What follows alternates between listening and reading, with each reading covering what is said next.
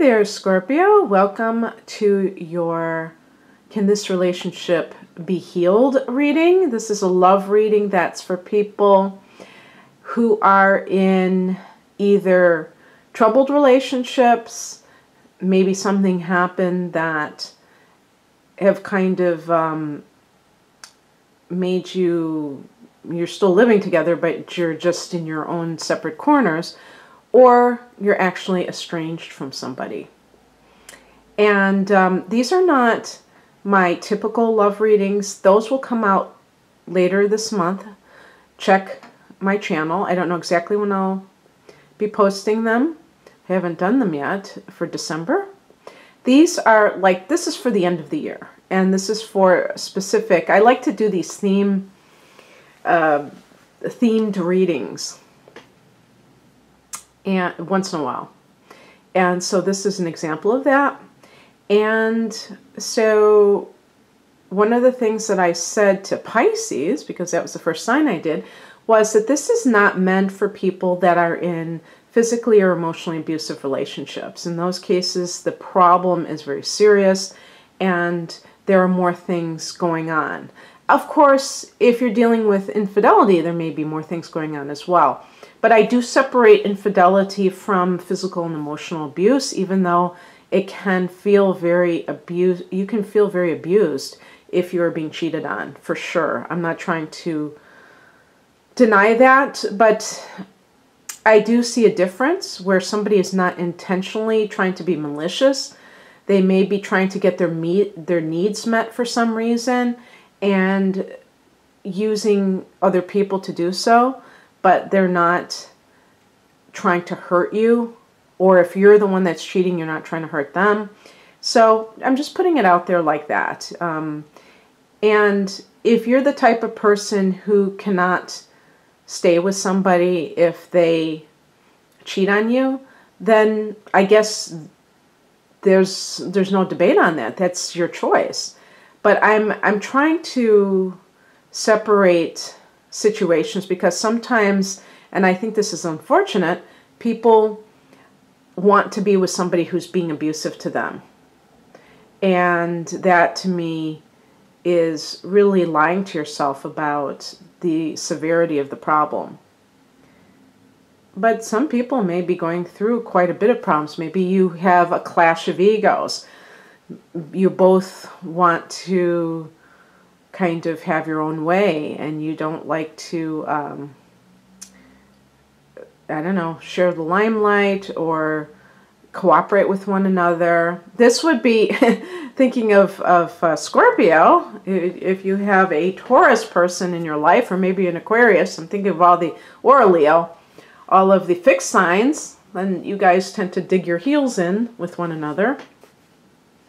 But anyway, yeah, so what I'm going to be doing is a spread that deals with this from kind of a therapeutic point of view. Not claiming to be a therapist, but, you know, that's a word. I can use a word. Um, to see how, you know, rather than just straight out prediction, of just looking at what may be going on and if it can be healed or what you can do about it on your end of things because that's all you control, Scorpio. You don't control anyone else. And what I'm going to be doing is using my regular Morgan Greer deck, but I'm also taking one of these Crystal Vision cards um, and throwing that into the mix because um,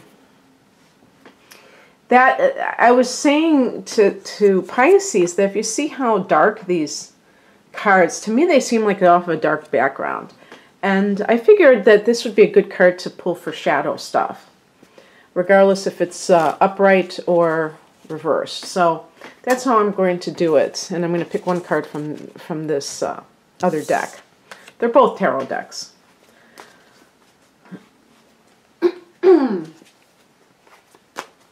okay.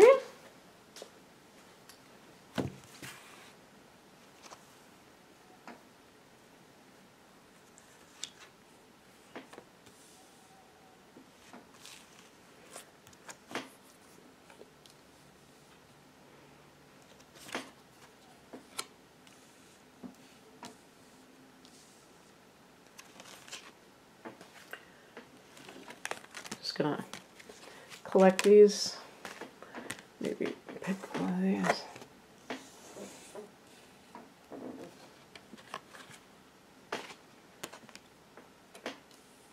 Gosh, these are some, some of these are the same cards I had in the other um, reading, but uh, I did shuffle it. Okay. And um, maybe you're dealing with a Pisces person and that's why.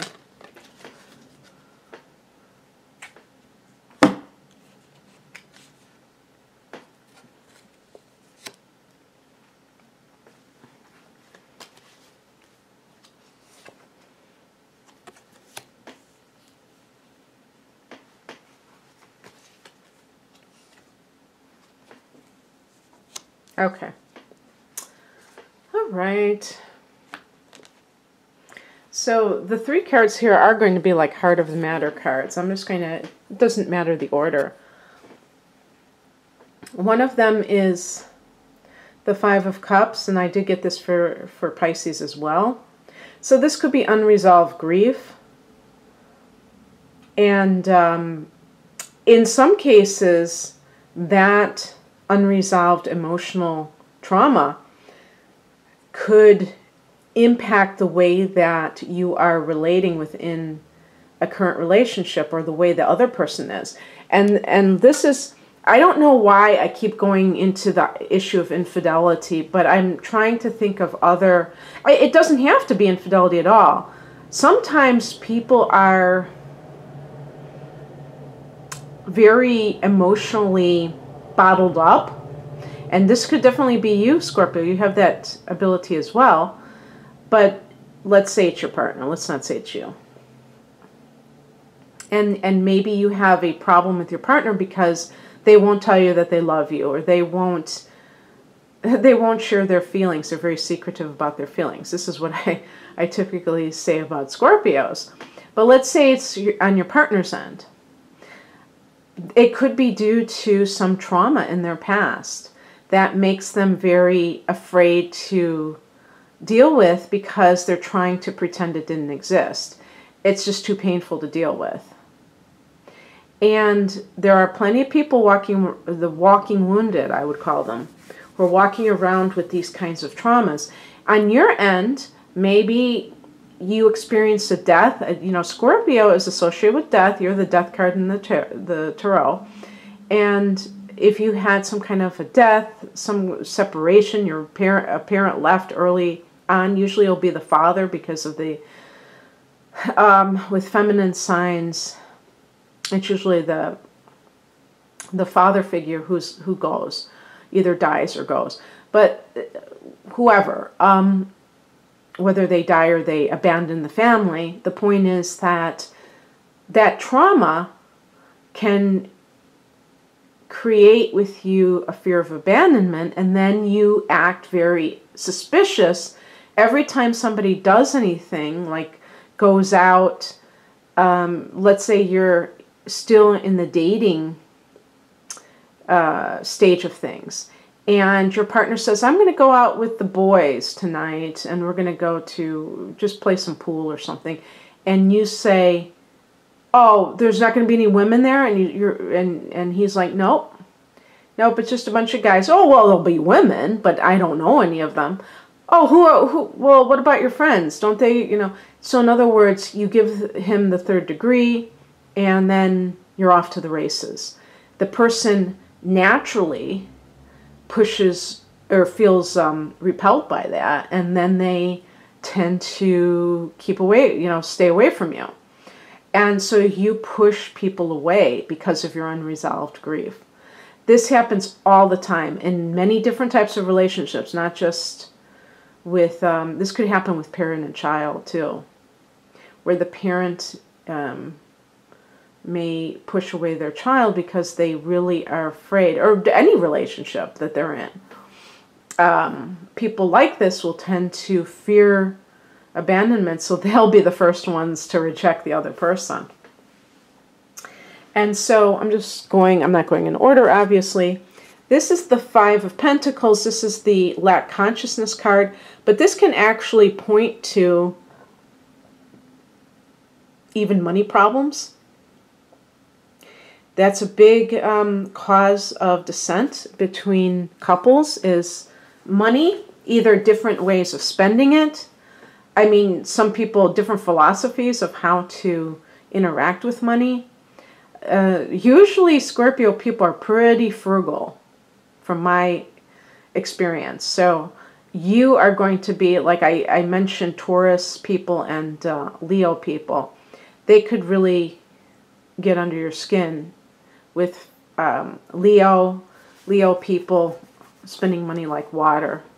That could that could be a bone of contention between you and them. But see, this is this is an area of control that can occur where people are jockeying for position and uh, trying to be in control of the, the resources as well as the relationship itself. Um, so people tend to play games in these in these uh, environments or and uh,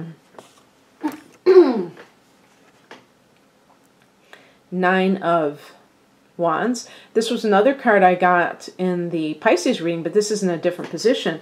And um, it could be kind of going along with that five of cups where building those walls having that kind of um, you know, having like too high, uh, too rigid of a boundary where you are afraid of any kind of compromise or you're afraid to like kind of give in to the other person because you think that it implies weakness. Um, let's look at why this might be occurring. This is the judgment card, so this could mean that one of you actually was um, maybe you were scarred by a divorce. And so that may have impacted the finances where the person doesn't have as much money. And then the other person's like, How come you don't have money? Well, I got cleaned out during my divorce. Or they just, and, and they're very wary about it happening again. And so they have these very, um, you know, it's right next to this five of wands They could be crying poor and acting like they don't have money, which but they do. It's just that they're overprotective of it. But uh, with the Five of Cups, there's underlying grief perhaps on one or both sides. And um, this can this can indicate that the person or both parties that they do they do have some healing to do still from the past and uh, that this has impacted the relationship in a negative way. This is the spiritual message in this particular situation. This is the card of a happy marriage. So what could this mean in the context of everything? Well if you're coming from a judgment or you're coming from a divorce Maybe this is a second marriage for you and you're feeling like, oh, am I going to be divorced again? And that card suggests that no, you may be able to salvage this relationship and have that happy union. What does it take? Well, obviously, for some people, if you feel like you cannot communicate properly, you may um, find that going to a marriage counselor is the way that you resolve it, where you have an impartial party who can sit there and listen to both sides and tell tell you what he or she thinks about it. Sometimes people need that sounding board and it can be very effective for feeling heard when the other person is not willing to do so. And if you have a partner who is very closed off emotionally, this can be especially important. If you're a woman who's dealing with a man, because usually this is the case, it's usually the man who's like this. Um, maybe they need another male to talk to that can that they can feel more comfortable with. And um, maybe if you belong to a church, there's even pastoral counseling and things like that. But um, anyway, the shadow card here is the Wheel of Fortune. So this is a card that's associated with Jupiter. Now we could just say, if we want to be literal about this, that some people may have problems with gambling. And um, with Jupiter, there's always a tendency towards excess. So even like addictions, addictive behaviors, self-indulgence. Um, if this is an some kind of betrayal, like um, I don't sense in this particular reading, Scorpio, that the issue is necessarily um, cheating so much as maybe emotional problems and financial issues. But um, if it is something along the lines of addiction, oh yeah, by the way, the Five of Cups, that could be like um, maybe there's alcoholism. Um, especially if the person is somebody who tends to go, maybe they're a binge drinker and they do so either because they have cycling uh, their brain chemistry. Like uh, I, it was so funny. I mentioned bipolar before, and and I had people. You can't diagnose anything. I'm not diagnosing dilly squat. I'm just bringing up a type of chemical imbalance where when people have bipolar, sometimes they self-medicate.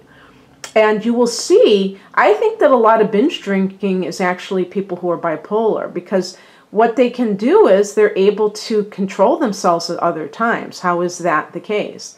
You would think that an alcoholic would just be completely um, habitually drinking, but that's not always how it happens. They sometimes will go on a bender for days and then they clean up and then they're fine, maybe for weeks or months, and then it happens again. And so, um, I think that those types of situations are more confusing because the person can be and is sober sometimes. So you get, you can always start to think that it's going to be better. This time uh, he or she is not going to drink anymore. They're, they're going to solve their problems and then they do it again. So it's easier to fool yourself into thinking that the problem is over with. So um, yeah, I think it could be somebody who drowns their sorrows, um, especially. But this is a card of associated with Jupiter can be a sense of excess. And with the Five of Pentacles, um, one of you may have kind of hit some kind of a snag in your life where it seems like nothing is going right um, I was going to say it's the perfect time to blame Saturn, some kind of astrological transit for it. But really, I would say, looking at from a law of attraction standpoint, that it's probably more like that there are other things going on in, in your life that are creating this lack of, of alignment and that you need to look at that. And um, I also think sometimes an addiction uh, is the fir- should be the first thing that is looked at when you're trying to solve problems, because if somebody is acting out, they could have this this um, addiction that is is making that is facilitating that. You know, people tend to have you know one night stands more often when they're drinking. I think that's a pretty easy thing to, to state as fact because their inhibitions are down. So just saying it like that. And then the advice is the Two of Pentacles. This may be that you have to make a choice if you're going to accept a situation as it is, because the Pentacles is all about tangible things. So not oh, everything, if they, if only they get sober or if only they stop cheating, then everything's going to be perfect. No, actually, if you've heard the term white knuckling it, there are people who they quit doing whatever that naughty thing is that they're doing and they still are, they have the same consciousness that is in turmoil. So they still have this negative mindset and just by quitting the supposedly destructive behavior, they haven't stopped, they haven't gotten to the root of the issue. And so they call it white knuckling it because they're trying so hard not to do whatever it is that they're not supposed to do that they are, are still basically in the same place on a mental level. And so that's not what being healed is. Um, so, and, and I would actually say this in a lot of cases. The best way to decide whether, whether or not to stay or leave a relationship is can you accept the situation as it is without needing it to change? And if your answer is no, I, I want it to change. I'm not saying, do you want it to change? I said, can you accept it if it doesn't change without constantly nagging the person and being unhappy yourself? If you can't, then it sounds to me like it would be better to leave. If you're willing to, to unconditionally love this person, even if they continue to cheat or continue to um, be a substance abuser or, continue to withhold their feelings or whatever it is that is, or, or, or be a, a gambler, whatever it is that their problem is. If you can't accept that, then you have to leave the situation. If you can accept it, then it means that you're going to be okay. It's not going to adversely affect you. But you can't it, it's like it's come down to um, some very straight truths, in other words, with the Two of Pentacles here. You can choose to accept it or choose to leave. And the other thing, too, is that you may have some kind of uh, decision that you have to mull over. Maybe you get a job offer and it's for overseas. There's there's a picture on here. This is always an alternate explanation of two of uh, in, in the Two of Pentacles of the uh, ship. So it could be like an overseas assignment. And you will have that separation, but you will be doing something productive. And so it might be wise for you to just like have a breather from the marriage or committed partnership. If you are cheating yourself, you may have to choose between both these people. I, am saying you may have to choose. You do have to choose. Because if you continue to um, be unfaithful, that's not going to get you closer to a healed relationship. The outcome is the Hierophant. So in the last scenario I just um, mentioned, I think that you will choose the conventional way of living, which is marriage. So if you're in a marriage, you want to preserve that marriage. Um, and you may, and you have some good marriage cards. The Ten of Cups is like the ultimate thing to strive for. I, it's funny because the the Hierophant connects to Taurus. So I had mentioned a possible relationship with the Taurus. So I don't know. Uh, and by the way, that this would connect to Taurus as well. Maybe that's one of your choices. Uh, there's two Earth signs. I don't know, but um, it's very, it's very. Uh, I think that um, this one is more positive than. Um, well, I don't want to say that the Pisces reading was not positive, but I was kind of just focusing on what the Pisces person could do. And I didn't really answer the question, I don't think, can this relationship be healed? I think in your case, the answer is yes. If you really value it and you value the institution of marriage, then for sure. Okay, Scorpio. Well, I hope you enjoyed this new type of reading. I This is not something I normally do, and I will have... Um, as I said, I'm going to be doing December love readings that are just kind of more of a general love reading um, in a week or two. So check back for that. If you'd like a private reading, I have special through the end of 2017, which is 20% off of all my readings. And you have to put in the code Jupiter to receive this discount.